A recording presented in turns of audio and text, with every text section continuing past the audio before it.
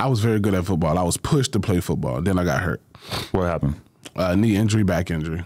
Ouch. And so that completely just ruined. Like you had a vision for what your life was going to be like prior to that? Yeah, I had promised my whole family a whole bunch. Mm. And that happened. What? How old were you? Seventeen. I was in a wheelchair for like six months. Really? Yeah, eight- eighteen. And that made you sort of what zero in on the the funny part of your personality. I was always funny. Okay. I was on MTV Yo Momma when I was sixteen. 16 Mm-hmm. From Georgia. How the f- you, you get in that position? Went to Atlanta, audition with my mom. Uh huh. And uh, was this like a, a realization, an awakening when you realized that your your true potential didn't lie in your body but your mind? Well, once I got hurt, I had to uh, figure out other options. I was out there jugging, robbing with my friend. He went to prison. Define jigging. Allegedly, I was buying fake gold and selling it. I was buying it in Atlanta and selling it in Macon. And by gold, you mean cocaine. No, gold, gold okay. jewelry. Okay. We were stealing tools out of people's trucks, pawning them. Really? So you're kind of like, A tornado had came through. We were going inside of people's houses. It was bad. I was, I was on a path to destruction. And then when he went to prison, I said, I got to get out of here, and I moved to California. he got picked up for what? Uh, he was selling a cell phone, and he robbed a guy. Guy took the gun and put him on the ground. Oh, sh- And I was supposed to be there, but I was with my girlfriend at the time. wow. And so that changed everything for you? When I saw that that night laying in bed with her, I was just like, I got to figure shit out. When you say you saw it, you mean like On the news, on the news? Yeah. Holy shit. I was like, yo, baby, I can't do this anymore. And had you even dabbled in the comedy shit before you headed out to LA? A little bit. Yeah, a little bit. You're starting to get your, your toes wet. I was more of an actor. I was doing a lot of acting stuff. Okay. And then you move out here, and what, what does life become? Where'd you move? Horrible. I was in the valley. Uh, But you went straight to the valley. You got to skip I was on over the- Sherman Way in Tampa. You, you skipped the downtown LA part of your life because you're supposed there- to get a one bedroom apartment in downtown LA and get harassed by meth heads at all times of night. I moved there three years after I lived here. Oh, really? Okay. Do you hate it? Downtown? Yeah. I did until I loved it until I had a kid. Downtown is what sends people to Austin. True. If you spend a year downtown LA, then you deserve Or uh, Austin. Venice Beach. Yeah, either one. Just any crack oriented Yeah. part. Crack oriented. I mean, I lived downtown for two, three years, and for sure, it what just part? uh, like Sixth and Spring. I was right there, Fifth and Spring. Yeah, Yeah. I had a bike shop on Fifth in Los Angeles, and it was. I knew your bike shop. Oh, you did? Wow. Yeah. that's sick. So you was right there by the 7-Eleven. Yeah, like a block or two away from that. Yeah, I know exactly. The what SB, 7-Eleven you had is. SB Grand? Uh, I was at 621 South Spring Street, I think, if I'm remembering correctly. It was across the I street think I from. was 511 Spring. Yeah, I can't remember. That was No, 501 South Spring. that was a good era though.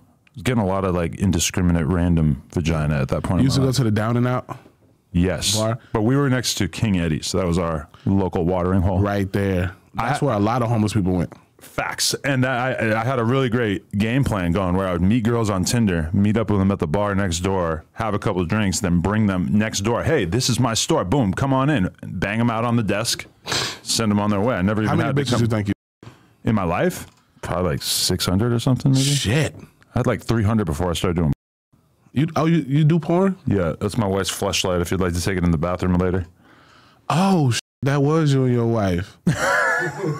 That That's my homeboy, Who? Jason. Jason Luv, really? Oh, they were definitely ops. Uh, no, but I, We're ops. No, I'm just kidding. Uh, Shout out to Jason. But uh, I was just at the Awards, and we In didn't Vegas. we didn't run into him. It's kind of awkward. We were, we were like really excited to take a He's, photo. he's huge, yeah, and he's a freak of nature. He's like six four, I'm six three.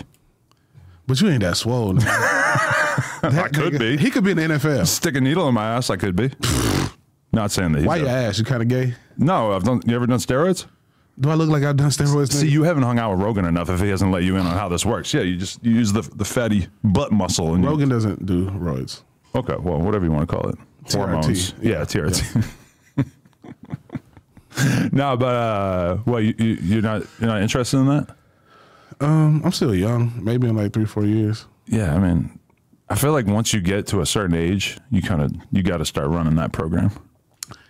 Yeah, I go to his doctors. I'm dropping some weight. Flacco's like, bro, you getting smaller. I was like, yeah, bro, Bro, getting healthier. Flacco, that is every person he meets, he either tells them that they look fatter or shorter or taller than they look on the internet. Well, I'm getting, I'm getting smaller. that is his introductory statement to everyone. It's crazy. well, his introductory statement was actually, "You're the goat." Yes, I, I 100% knew that he was going to say that. As soon as I realized that you guys were talking in the hallway, I knew he was going to be flipping out on you because he loves anyone who will challenge the sort of mainstream Flacco's short black and thick. You need to put him in consensus. porn. Oh yeah, he got a thing on him for Them sure. fucking yeah. hips he got. He always says he has a 10 inch dick. I tell him to pull it out. Yeah, that would be great, but as a boss, I don't know if I would really want to That's insist sexual upon that. harassment. Mm, I mean, I don't know because it would be like a willing dick showing, but for sure, I would like to see what he's working with, but I'm not going to ask him to whip it out. Yeah. Is it gay if you ask to see another man's dick? Not from me. As long as you don't suck it, right? If you suck it, it's gay. I personally, though, like have had this problem with a lot of different rappers where they tell me that they want to get into porn, and then I say like, "Let's see it," They're shy. and they're like, "That's gay," and I'm like, "Okay, that is literally the whole thing in porn." How do you like porn? That's fine. Actually, Is it just a job or is it pussy sometimes? Uh, it's both. It's a job, and it's like, oh hell yeah, I get to touch on a new vagina today. Outside of your wife, who got the best pussy? Hmm. I don't know. This girl Dan Dangler sat on my face the other day, so I felt like I got a really good encounter with her vagina. She got a nice one. I'm talking about feeling where you like, fuck, I gotta stop before I bust. There's this girl Kelly K, and I, I I nutted like prematurely with her. She's from Nashville, I think. She's a down south girl, so that might be why. I feel like down south they have like way lower body counts on average. Yeah. But she had a kid after. I want to say that. Niggas be fucking in the South. Nah, that's a good point. But I feel like they got smaller dicks down south. I don't know. The cities, New York and LA, got bigger dicks, right? No, that's there's no nobody's gonna go for this. Nah. I say country niggas. Yeah, that's kind of like a stereotype that you could just be like a well hung farmer, right? Yeah.